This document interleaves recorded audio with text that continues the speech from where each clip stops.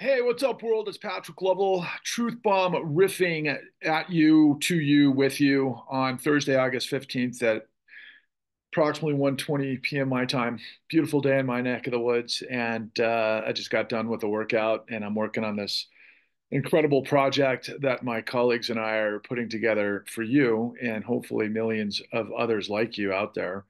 Um, that's going to be our website, and it's called Patrick Lovell presents the Clean New Deal, which is going to be amazing, and I'm so excited about it. But um,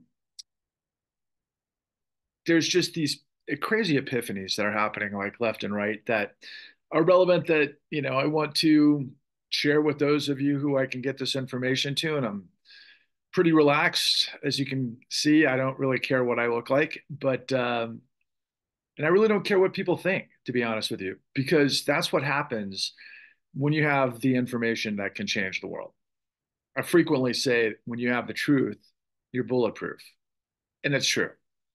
I don't care if I get knocked off tomorrow. What I've done and the work that I have and what I've been able to do for the American people is like nothing that's happened in our lifetime. And I know that sounds highfalutin. I think it might sound a little bit, uh, you know, what do what do people like to say? Delusional. But those are people who don't know what I've done, and those are people who have no idea who I am and where I've come from and what it means. But I do. so that's why this effort is called Patrick Lovell Presents the Clean New Deal, because unfortunately, even though I'm definitely uh, connected to some wonderful people, uh, one in particular that's been lock and step, step with me the whole time that we've been trying to attempt to get your attention. Uh, but unfortunately, or fortunately, however you, you, you, you shape it up, I did the work, so I understand what it all means. And so let's kind of give you a snapshot of what's happening today, again, on Thursday, August 15th, uh, at approximately 1.30 p.m. my time. And of course, it's the year 2024, which always blows my mind when I think about it. But um, we're literally less than three months away to this incredible election that's going to have a lot of our attention and is going to create just incredible furtherment of disinformation and misinformation and confusion about what it is we are and what we're dealing with and how it all works. And that's what I'm trying to convey to you as I deal with distractions and other things that are just daily life occurrences. But um, let's consider what we're looking at today, and I'm going to hopefully try to piece a lot of these things that are in my mind. So, really, as of this this moment, I think what happened earlier today um, that could be considered news is President Biden showed up on the campaign stump with vice president and to be nominated of the Democratic Party on the presidential ticket. Kamala, Kamala, as I've been um, taught to pronounce her name, it sounds like Kama, Kamala Harris is the appropriate pronunciation. Of course, her VP pick, uh, Governor of Minnesota, Tim Walz, um, as they go through, you know, the fire, if as it were, uh, in the midst of this really incredible insanity and stupidity of all things Donald Trump and what the MAGA, MAGA zombie apocalypse is in the context of Trump contagion versus what our system is supposed to be. So, for example, the way this whole thing is being kind of constructed and framed is is going to be the prosecutor, Miss Kamala Harris, that was at one point the AG of California. And if you don't know what that abbreviation means, it means Attorney General of California. And, um, you know, she's supposedly prosecuted, you know, drug dealers and sex offenders and frauds and won over big, uh, you know, settlements with the banks. And she's on the good side of things. And, you know, she's obviously for many of us, and I, I put myself in this category as well relatively enthusiastic given just the monstrosity of all things Trump. Um, but again, somewhat problematic. But at the same time, Tim Walz is not a part of the problem, nor has he ever been. And he is actually the perfect guy, quite frankly, which I think was a bit of a miscalculation. But the ultimate in calculation, former Attorney General of the United States, Eric Holder, who was the Attorney General under then President Barack Obama, who was pretty responsible for pretty much everything that I'm revealing to you, that obviously I have enough confidence to appear and speak slowly and softly and in a way that I'm going to try to matriculate my thoughts in a compelling way because I have the information that can take down the largest criminal racketeering enterprise in the history of the world. And I know that's saying something, but it's true. So let's just consider for a second. And I didn't watch, and I'll, I'll, probably watch it after this or sometime today between all the work that I'm doing, but I'll probably watch the um, uh, sound bites or clips, and maybe I'll try to find the entire entirety of um, Biden appearing with Kamala and, you know, seeing what he had to say and how they said it. It's going to be a rah rah fest, of course. There's not going to be any details. It's going to be us versus them. We're the good guys and we're not them because we project things of normalcy. You know, I, have said it before that Miss Kamala Harris um, projects this really intellectual uh, dynamo, uh, this multi uh, ethnic, if you will, um, you know, wonderful human being. That's a woman. That's extremely important because of all things Trump, and um, of course, smart and part of the system, right? And someone that we can trust to helm the system, I suppose. And the idea is that you know this is the fight of our lives for democracy, because of course Trump is a train wreck embodiment, reflection of who we are and what we're all about, quite frankly. I mean, I almost consider Trump a um, kind of like a, uh, like, uh, I, I know it's going to sound ironic and kind of crazy, but I, I kind of feel like, in the ethereal sense, you know, not, don't take me literal in this translation, but in the ethereal sense, he almost seems God given from this perspective that it's like he's the ultimate reflection of the system that I'm trying to and tenaciously and insanely trying to reveal to you, and I have been for now over two years on these truth bomb riffs, the red carpet reflection of what our system is. And Donald Trump is a criminal. He's been a con for four decades. He should have been in prison four decades ago. I've got the full story and evidence and i work with one of the i don't work with i, I interact with one of the world's foremost ex- experts in all things donald trump. And if you look into my truth bombs you'll see that i've had several interviews with a gentleman by the name of david Cay Johnston. And uh, you know he's revealed elements of fraud that should have been convicted by a prosecutor doing his or her job long ago that would have prevented any of this from happening. But of course, they didn't. And why didn't they? well, because it was difficult from the standpoint that, yeah, Donald Trump has always had money, so he could always hire attorneys. And what it's turned out is he doesn't hire the best of the attorneys. He doesn't even hire like B level attorneys, he hires like D minus attorneys. And that goes for accountants as well you can jam things up, you know, a little bit uh, in the court system.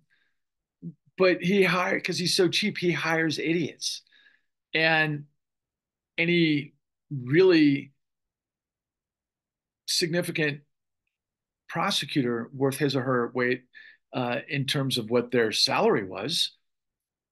I'm sure I could have done it.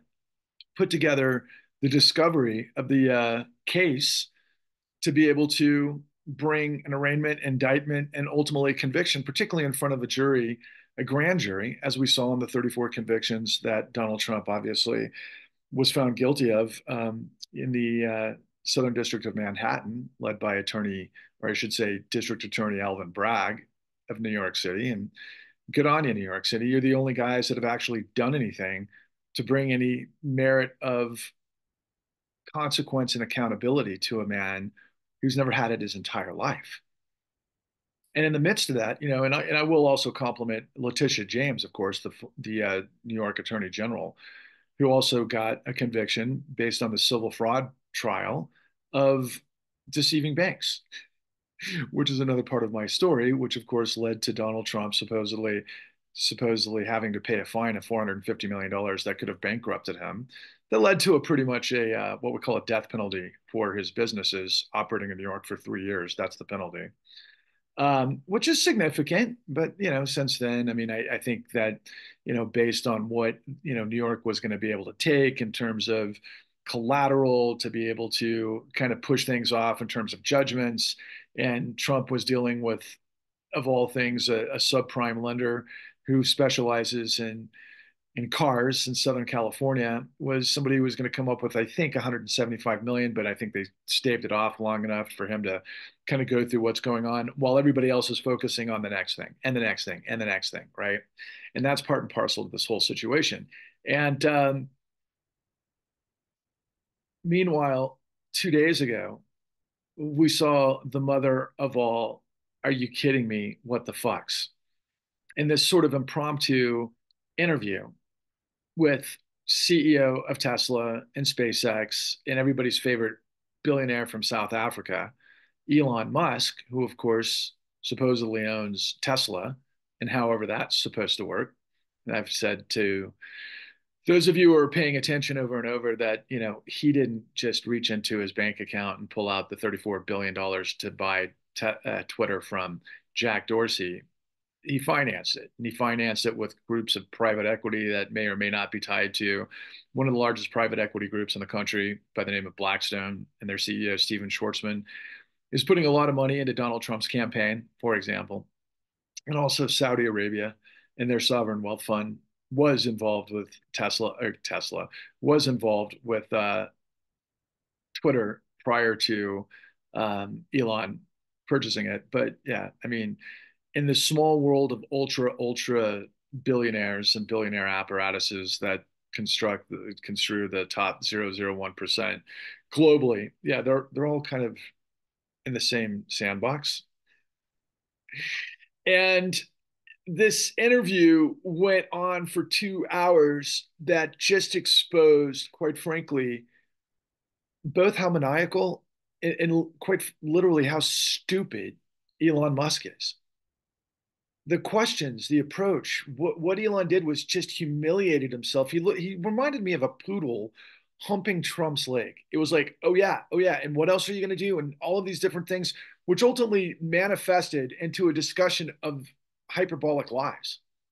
And again, that mirrors and manifests everything that Elon is all about and what I'm in the midst of, and actually what I'm challenging Elon about, because I happen to get ejected from X because last week there was an incident that involved vice president candidate on the Republican side, JD Vance, where there was this video circulating of him on the tarmac with his Secret Service, and apparently Vice President Kamala Kamala Kamala Kamala Harris, her plane, you know, which is uh, Air Force Two, because she's the Vice President of the United States. They were in Wisconsin, both for uh, campaign events, and the imagery was that J.D. Vance was approaching and looking like wandering around in circles on the tarmac how he was going to lead he and his what appeared to be this guerrilla staff of security guards, right? That are probably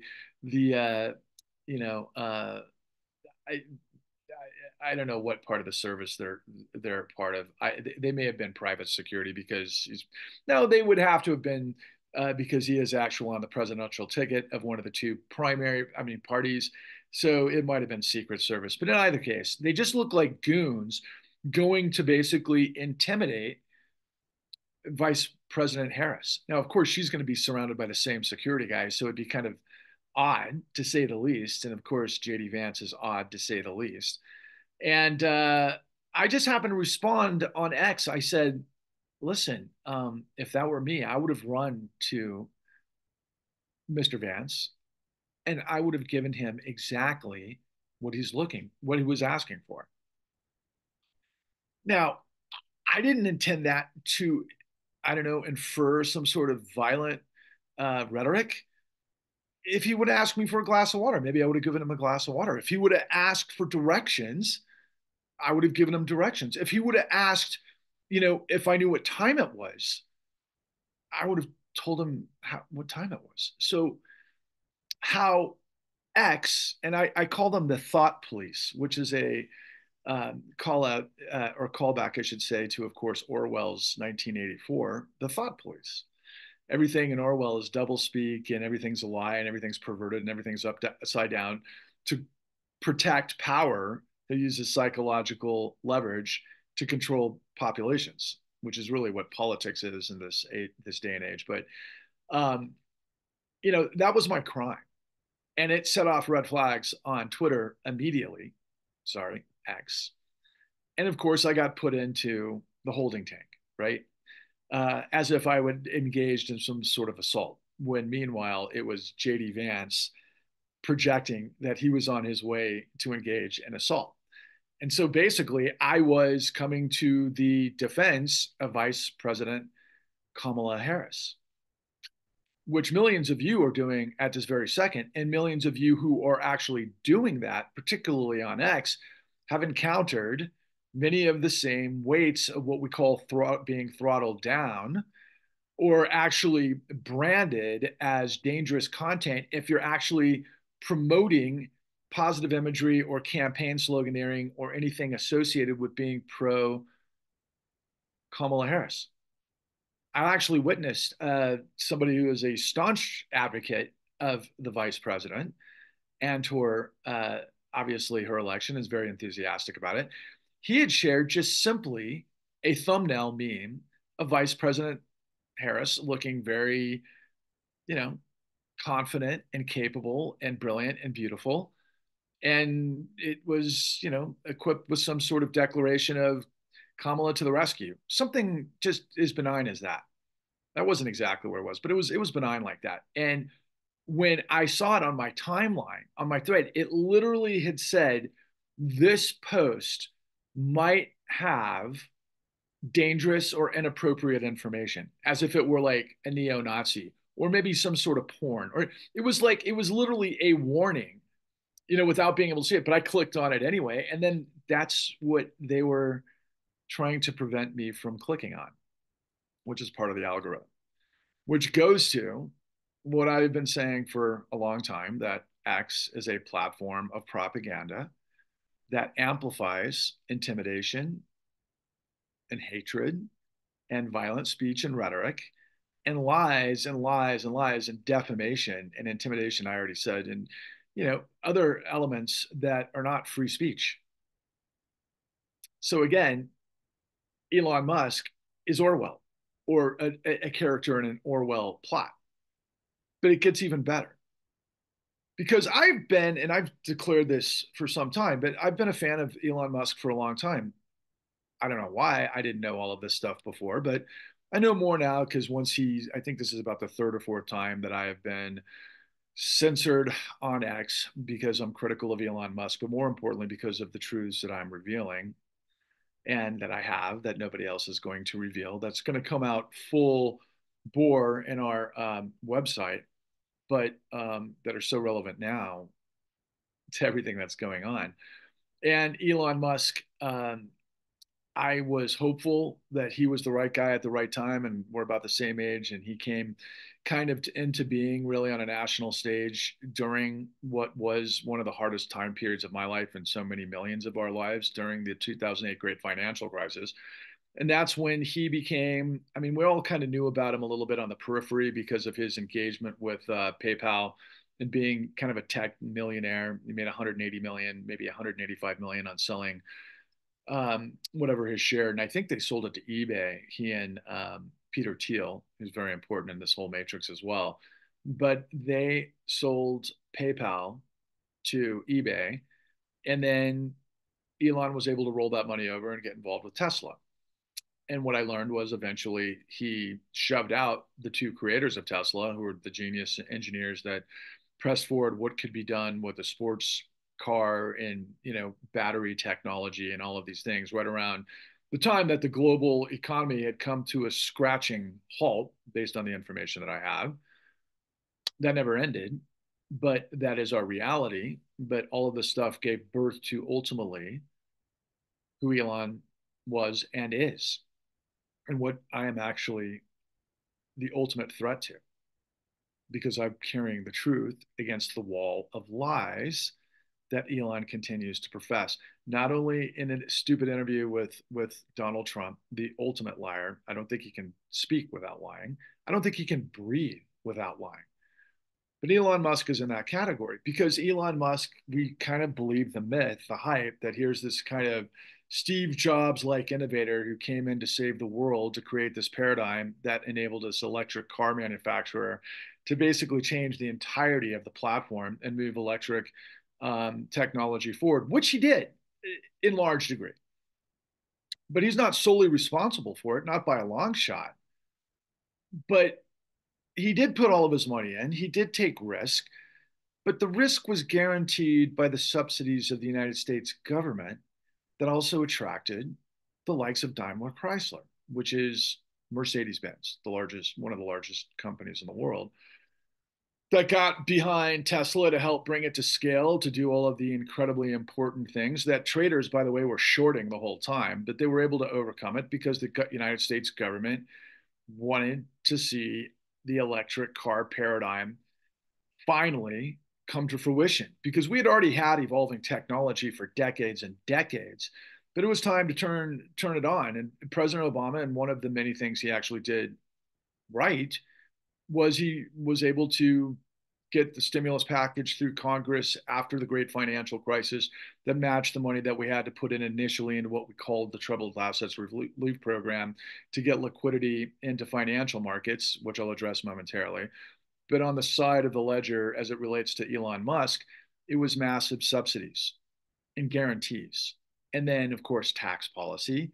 And then ultimately, a, bunch of financialization that would lead to the schemes that I touch upon in many of my truth bombs, which would lead you to understand that there was definitely scheming by way of uh, hyperinflating stock values on a number of different pieces of misinformation along the way. And this doesn't need to be a you know expose or a treatise on all things Tesla and X, but more importantly, in terms of who Elon Musk is versus what the myth is, and Elon Musk isn't this sort of fountainhead character that created all of the technology, that brought it all to market, that sold all the investors, that ultimately changed the paradigm based on his own inclinations and vision. That's the myth. That's not the reality. Now, did he work in factories and, and, and, sleep on couches and work around the clock and demand, you know, people that he had hired to be, you know, viciously committed to what it is that they do and he only kept the best of the best and they were able to do a lot of amazing things. Yeah that part is true.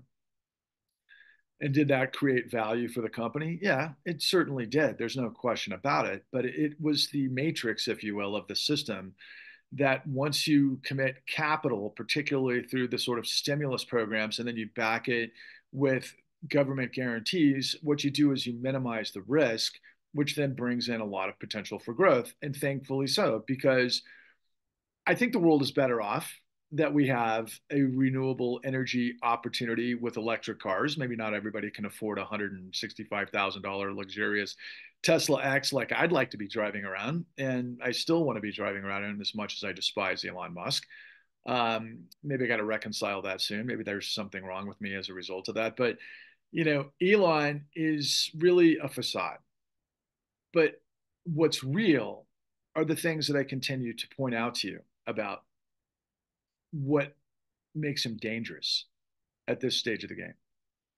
So, for example, the fact that he's gone all in on Trump, a guy that we know lied 5,000 times plus in office and um, was involved with one engineering and, and gerrymandering and stealing and lying about the election in 2016 on a variety of fronts. But what we just saw him convicted of was, of course, creating fabrication of business documents to suppress the information that he worked in unison and conspiracy with none other than David Pecker of the National Enquirer to catch and kill and suppress the story of Stormy Daniels while making hush money payments. And then, of course, lying to the public, which is illegal in New York, uh, to win the election to suppress the information. And he was found guilty on 34 counts that all emanated from lying, stealing, thieving, which in a nutshell, it's called deceptive acts and practices. Yeah, we have laws to prevent that from happening. But the only way they actually mean anything is if prosecutors do their job. Going back to what I said at the beginning of this, prosecutors had Donald Trump dead to rights on at least that I'm aware of, at least I'm going to call it from the savings and loan era and the junk bond situation in Taj Mahal, payoffs to New Jersey officials, and then ultimately, you know, what were some of the other big ones? I mean, well, of course, we had Trump University, of which he was found guilty of, and that was fraud, uh, selling all sorts of lies and deceptive acts and practices to people that thought they were going to get their money's worth because of his insight for Trump University through real estate. And he didn't teach all of the elements of his lying, stealing, and deceiving. Otherwise, he wouldn't have been found guilty and had to pay $25 million. He tried to set it up as a legit deal, but there was all sorts of other aspects of it. But, you know, look, I think there's at least that I can count, again, is based on fabrication of business documents that go back – in tax fraud and liabilities to both New York State and New Jersey and the city of New York and whatever counties he's in, and also on the federal level. I mean, we're talking like six to 12 major, major criminal actions that could have been taken long before he ever became president of the United States.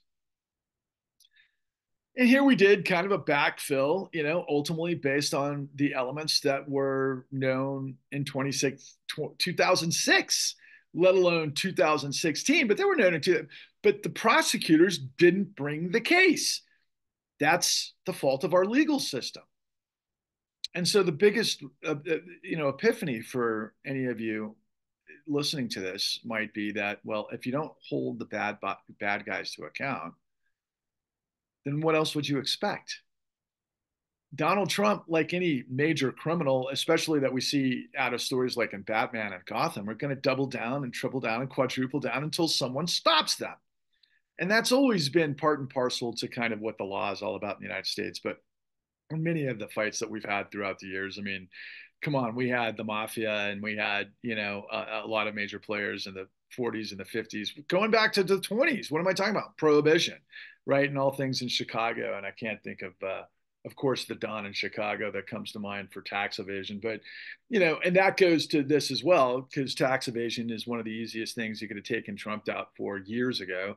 But that never happened. So it just got worse and worse and worse, and to the point where he just got bigger and bigger criminals to backstop him. And by the time you get to 2016, he's playing ball with, you know, Vladimir Putin. And Vladimir Putin turns out, after all the things he had to endure, after being the head of the KGB and then surviving basically the bankruptcy of the Soviet Union, care of a lot of the financialization that was the first rungs of what it is that I've been revealing to you this whole time, through long-term capital management that bank- bankrupted the Soviet Union because the ruble, uh, basically there was a run on a ruble and a collapse on their currency that was kind of the the final nail in the coffin of the Soviet Union as it once was, which was our you know supposed enemy during the Cold War. But ultimately, you know, Trump and uh, and uh, Putin, you know, kind of find a way to break bread and some sort of aligned interests, so to speak. And I, I kind of have to ha- hand it to him, even though I'm not a fan at all. Although I do respect him on occasion, but sometimes he's less crafty than I think he is. But because uh, Putin has shown some kind of vulnerabilities. Meanwhile, I think yesterday or even today, it looks like the Ukraine has actually penetrated Russian um, Russian territory, and I think even taken over a town on the on the uh, borders. So that's kind of a big deal in the in the grand nexus of the geopolitics part of what I revealed to you, in context to why all of this stuff matters.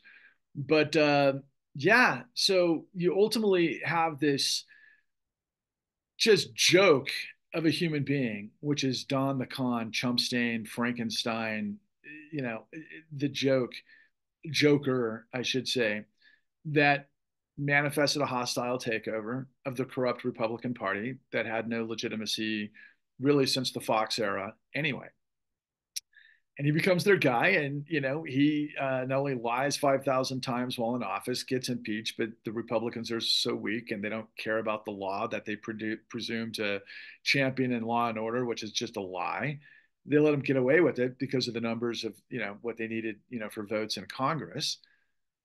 And so Trump doesn't get impeached, but ultimately, you know, he lowered taxes for billionaires and he wants to pull down the veil of, you know, deregulate, wants to create more deregulation for all of the sinister villains behind the scenes. And maybe if he has any utility, it's that. But then he also had utility to the other side of the equation, which was these forces that I've mentioned over the course of time, which are, you know, something that's been with us really probably since the beginning of the United States and goes back through Western Europe throughout a millennium, but kind of the supremacy of, of the white race. And as I've mentioned on several occasions, Rachel Maddow recently um, revealed a fantastic podcast called Ultra, which ultimately reveals this nexus of white right wing conspiracies in the United States that had followed the Civil War through Jim Crow, through the John Birch Society, where wealthy, you know, white business people who want control of the government find a way to manifest control of the white masses so that they have all the control. I mean, that's one way of manipulating democracy or whatever other sort of form of government there may be. But in this particular case, Rachel Maddow laid out that, yeah, they were indeed not only what we knew in terms of like the American Confederacy and all of those elements that exist in the United States, but no, they were literally lockstep with the Nazis by way of material support.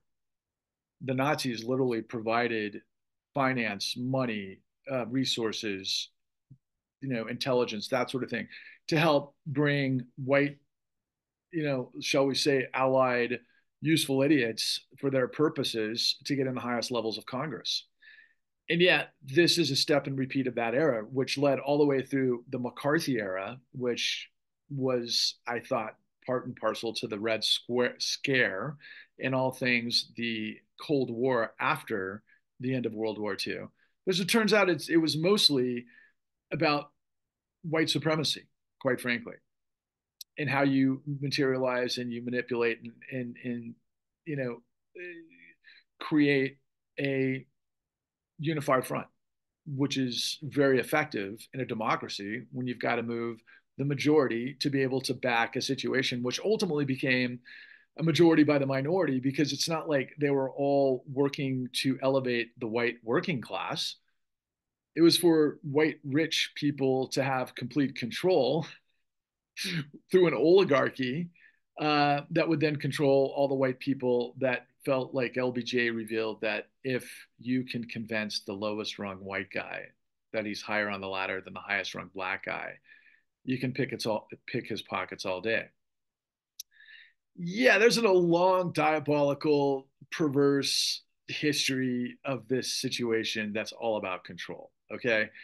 And I'm smiling not because it's funny, it's just it never ends and it's ridiculous because this is what Elon Musk, the presumed innovator, you know, this self made multi-billionaire proclaims and then he's going to put all of his sort of political interests and his soul and his ideology into this supposed free speech platform.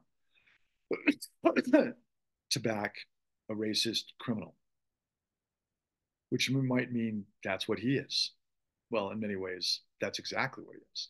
And let's not mention, forget that he came from apartheid South Africa back in the day, and he's got a weird family history, and there's so much more to it. But the long and the short of it is, you know, Elon is worth 200 and let's call it 47 billion dollars today. Even though I think the company lost 150 billion dollars the last couple of days because of just, I think, a lot of shareholders uh, being sick and tired of Elon. Not to mention people are buying fewer and fewer Teslas, but they weren't buying a lot of Teslas during COVID. So how did he double and triple and quadruple his wealth at that time period? What I'm telling you about and why I'm calm and why I um, really don't care what people think um, in so much as I care to get this message to as many people as I possibly can. And the question is, do you want to live in truth? in a democracy where the integrity of law is legit, where there are separation of powers, all of the elements of what the country was designed to do, that we all know is never perfect. But should it be a fascist state where, and this is the ultimate question, this is the ultimate question. Do you think the framers, who supposedly, and they did, defeated the greatest empire in the history of their era, the English Empire, um, which was incredible, uh, their sacrifices and what they had to do, but to create a government supposedly of by and for the people through separation of powers, predicated on the principles of the Bill of Rights to create liberty and justice for all, that would be um, protected by the Constitution, where no man or company is above the law. It's the idea. That's what we're all taught. That's what we're all led to believe. We all kind of have in the back of our minds. Is that what's going on? Are we going to save that? Well, that's, I mean, obviously, Kamala Harris is someone who fits that paradigm a lot closer than what I just laid out Elon Musk and Donald Trump do. So, therefore, well, she's the obvious choice because she's everything that Donald Trump isn't, right? Well, yeah.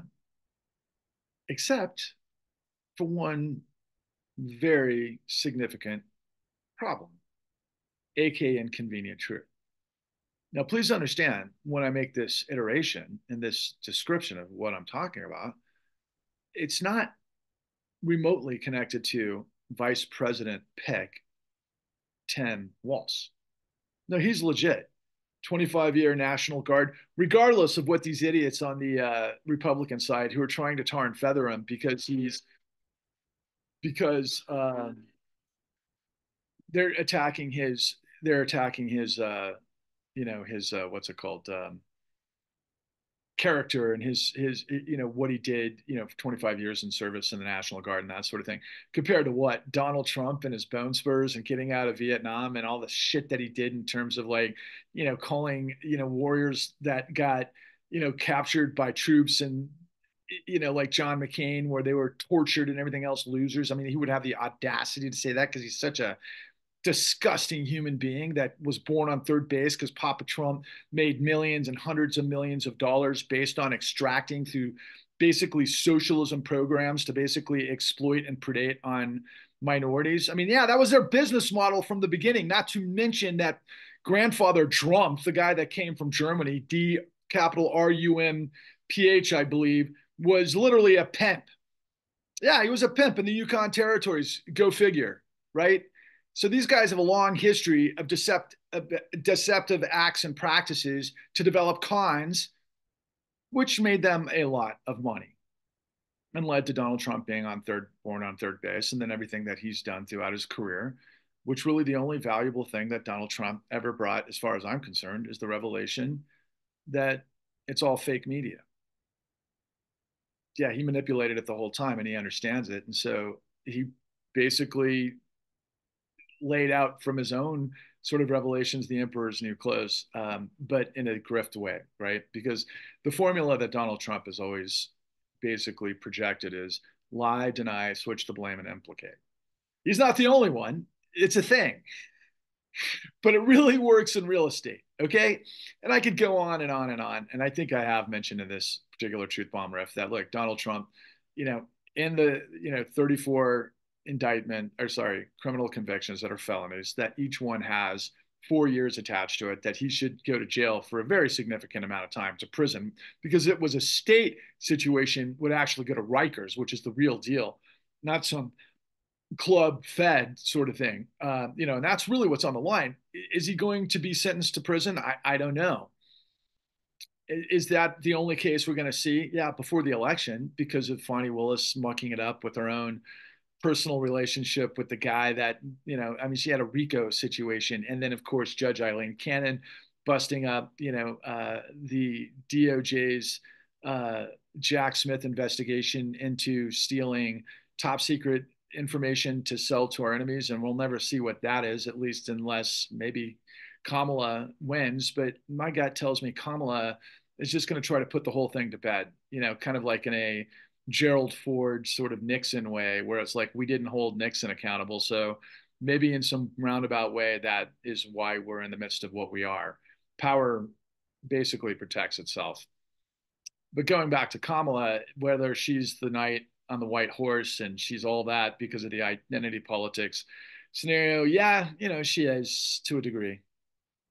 And again, her vice president has nothing to do with being connected to anything that I'm telling you. He, he's a real deal. He was a high school teacher and a high school fo- football coach, and he's exactly the guy that needs to champion what it is that I'm trying to get tens of millions of you to wrap your head around so that we can just ask this basic question because nobody in media is going to ask this question because media is bought by everything that I'm revealing to you. Do you think the framers of the Constitution, the guys that won the revolution, the people that created the separation of powers to give, in order to form a more perfect union, a chance through the Bill of Rights and the Constitution, do you think that they'd envisioned the United States being engulfed by billionaires that would get free money from the full faith and credit of the United States for deceiving, betraying, destroying illegally, literally by the law, this isn't hyperbole, tens of millions of Americans using the same stuff that we're now seeing that Donald Trump was indicted for and convicted for falsification of business records, the nature of deceptive acts and practices and racketeering and fraudulent, fraudulent signatures on documents, which is what Trump did in the racketeering scenario down in, in Georgia. At least that's what he was being indicted for, which means probable cause, and most likely would have been convicted of that as well, not to mention his attorneys, which are part and parcel of this thing because it's called failed state when corruption rules. When they know that there's not going to be any, any accountability, corruption rules. The bad guys get away with it. Imagine, and we've seen the movie a million times, what happens if Batman and Iron Man and Superman and Aquaman and all those guys, what if they just cave? What if they don't fight back to the bad guys? What happens? It's that elementary. What happens? The criminals take over. Okay, but to what ends? And what is anybody telling you? Uh, what what are they not telling you that I am in my preparation to try to get everybody to understand the Clean New Deal? Because Patrick Lovell presents the Clean New Deal. And who is Patrick? The guy who went the distance to discover and actualize the understanding of the mechanics because I did what's known as discovery through my work, The Con, that you can find at www.thecon.tv, which is the blueprint for how this whole thing works, which is actually the investigation that our DOJ and our SEC, which is the Securities and Exchange Commission, and AGs around the country were paid not to do. So that Eric Holder, the former Attorney General of, of Barack Obama, could do a sleight of hand, basically dog and pony trick show where ultimately he held the banks of this country, which we call too big to fail banks, responsible for about $250 billion in fines. And he basically, in all of these civil settlements, described to you what I'm describing to you. But there wasn't a criminal conviction because they chose not to. Remember, I mentioned why wasn't Donald Trump held accountable? Because the prosecutor chose not to do the investigation to get the indictments to take him through the judiciary and through the process to ultimately get him in front of a grand jury to get a conviction. That's what the law is supposed to do in a country that was created to basically never allow tyranny to rule. That's the whole idea of America. That was the whole idea of not just the revolution, but also the Civil War in the civil rights movement and the war against uh, fascism, and also, of course, the New Deal and the civil rights movement downstream. Human suffrage, the principles of liberty and justice for all versus this notion of capitalism and versus free markets and everything else. What I'm revealing to you is that we're not any of that. We're not a democracy. We're not a capitalist structure.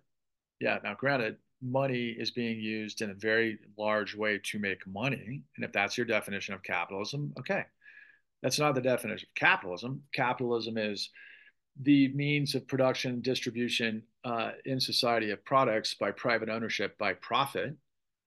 But there are laws that mandate how certain things are brought to market. For example, cars. We don't sell cars where the brakes are sabotaged.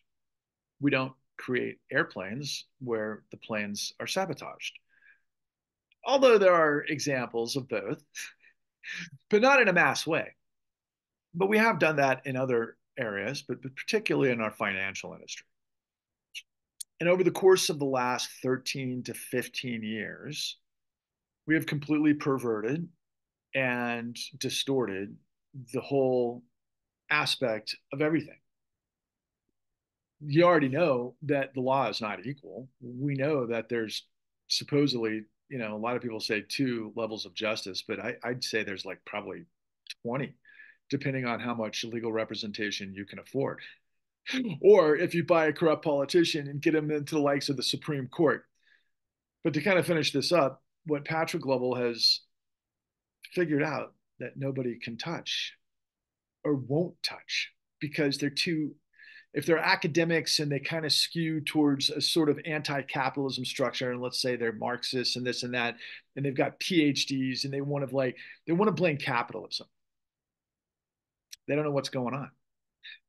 They're thinking about it in terms of stuff that was written by karl marx in three what volumes of you know uh, uh, capital das capital you know they in, in, fact from what i understand and i've never read them all i've just read excerpts but you know uh, most people read just the first volume and they don't go all the way through the, the, the, the full series to understand exactly in, in the big picture. And so they take shortcuts as well because it's a lot of information right? But they don't understand that it's not capitalism because it's not capitalism because capitalism requires risk.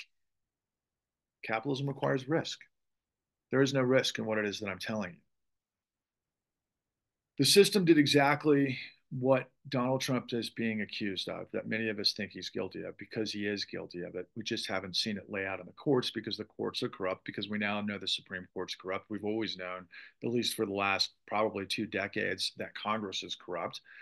But we didn't realize that our media was in on it too. Our media basically is just telling the stories to create us all kind of like back and forth and like, oh my God, the world's falling and it's the end of democracy, but I don't know what democracy is, or it's the end of free markets and I don't know what free markets are and tax policy and fairness, but I don't know what any of those things are. I don't know what the history of the United States is. I don't even know what, you know, constitutes the guy that I put in, you know, that, that's my senator or my representative. I don't know how many representatives I have for my state. I don't know how many senators I have for my state. I, how do I hold those guys accountable? I got to go to my job every single day to provide for my family, to get a roof over my head. Somebody else is supposed to do that. Except, no, the citizen is the ultimate backstop. Sorry, it takes work to understand your system.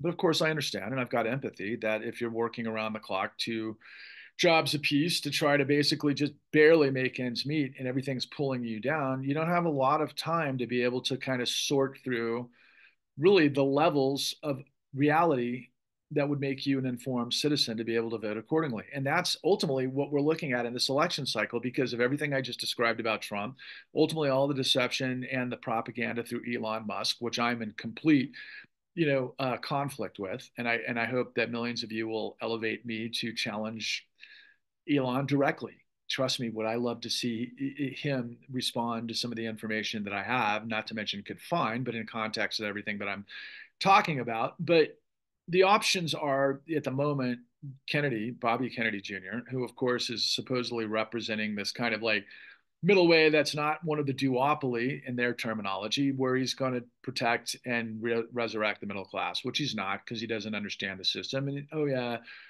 he's a ridiculous joke that shows cynically a billionaire as, as his VP candidate who wants to like talk about her garden most importantly or agriculture. And that's cool. And, and you know maybe yoga and maybe I'd like to go to a rave with her kind of thing. But that's not somebody I see as a change maker for paradigm change based on understanding what corruption is because what was her rise to fame and power? She slept and was married to um, you know uh, the gentleman who's the CEO and one of the co-founders of Sergey Brin of uh, Google Oh yeah, she cheated on him with Elon Musk.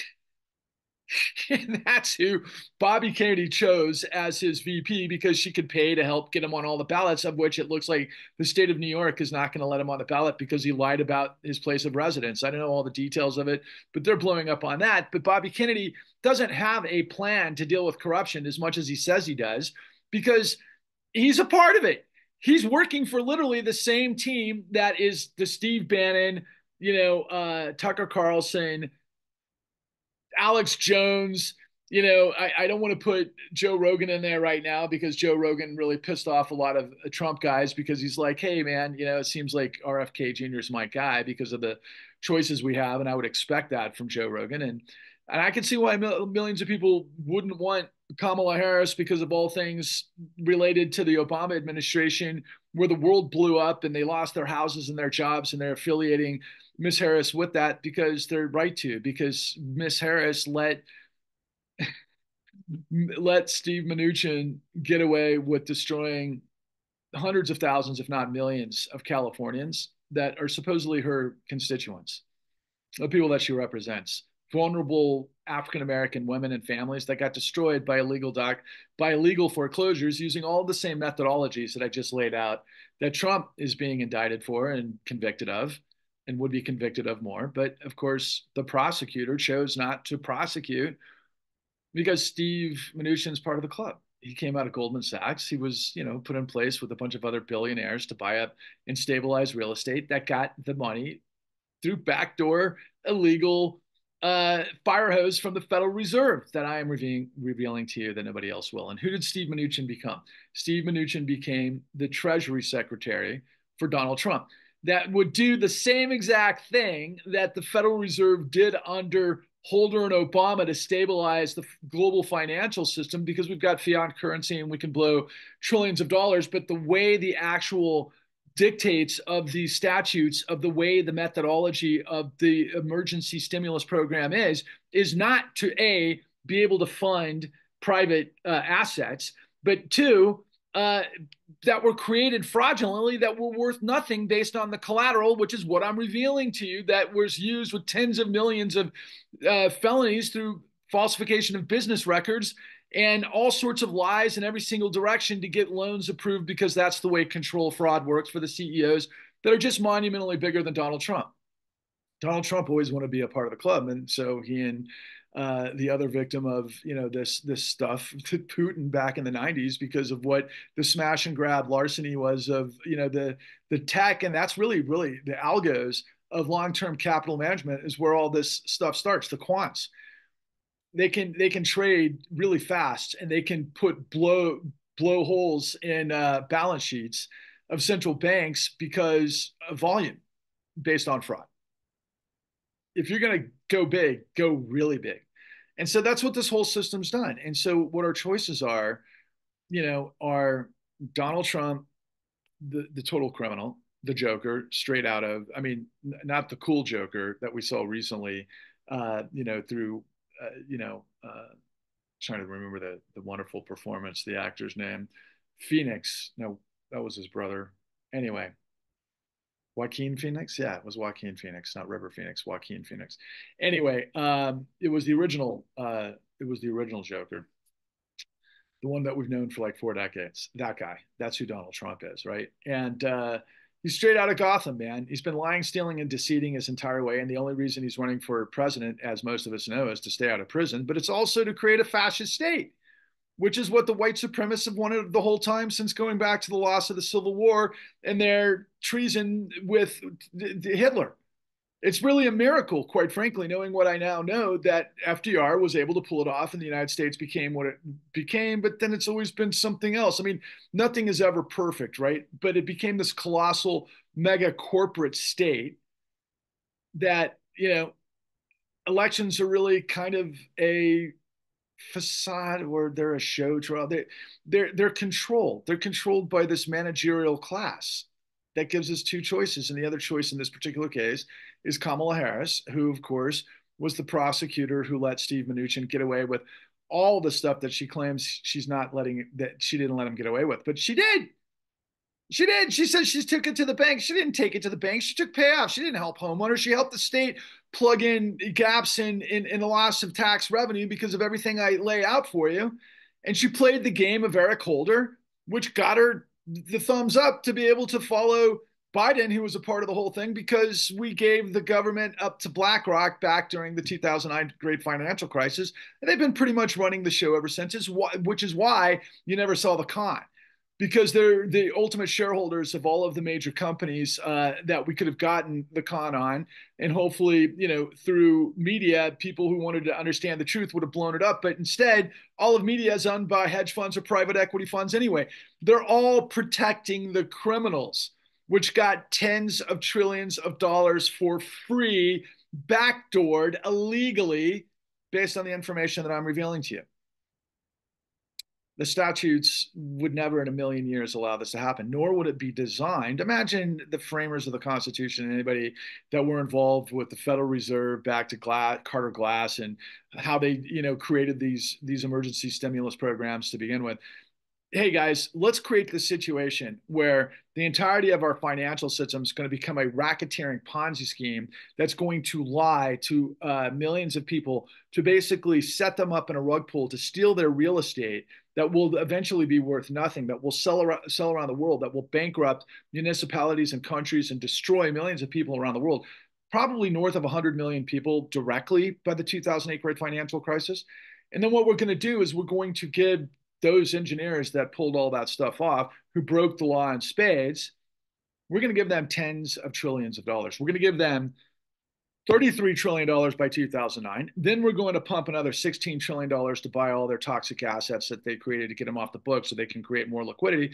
Then we're going to create another $22 trillion during Steve Mnuchin's time when we passed Dodd Frank regulation after the first emergency stimulus in 2009, where we said that, that this could never happen again, except that let's put the, uh, the one caveat to that in the position of the Secretary of the Treasury, who was Steve Mnuchin, who, of course, Kamala allowed to get away with the crime of the century. That never ended. And they just basically continued moving forward. And then we had COVID, and there were tens of trillions of dollars that came out of Federal Reserve Act 13.3 during Steve Mnuchin time into the CARES Act. It wasn't directly through Congress because Congress is a wit ends and nobody can get anything done in Congress. So the Federal Reserve just did the business of the economy of the billionaires while the people that we elect can't come to to terms and are owned by the same people that we let get away with monumentally skull fucking the United States. And then Biden did the same thing when he let Federal Reserve Act 13.3 plug holes with Jerome Powell, who was the uh, you know the the uh, chairman of the uh, Federal Reserve, who was appointed by um, by uh, Trump to basically backstop the biggest bankruptcies really in history, three of the biggest four bank bankruptcies that happened last year, including none other than Silicon Valley Bank, which a lot of money went to backstop Peter Thiel, the billionaire who's this like what homosexual uh, libertarian who basically is a super uh, corporate fascist that created the opportunity for um, JD Vance. And I'll finish off where I kind of started off. And JD Vance is this puppet to create further deep state stuff for the pseudo billionaires that are sucking out of the government largesse to ultimately destroy the rest of us. And JD Vance went on the tarmac to threaten Kamala. And that's where I came in at the beginning to stop that, to be able to give you guys this truth.